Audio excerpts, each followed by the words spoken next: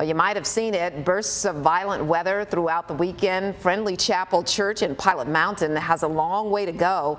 Firefighters believe lightning started a fire there that ripped its steeple to the ground Saturday night. A second strike hit the church while crews were already there. This is tough for a member who's been a parishioner for more than 40 years. I just wanted to cry, but you know, Lord makes no mistakes, and we'll just really pray for all our members of the church that that we can be down in the fellowship hall and serving the Lord. Well, part of the ceiling collapsed and there is a lot of water damage inside. Until repairs are made, the church is holding services in its fellowship hall, which is next door.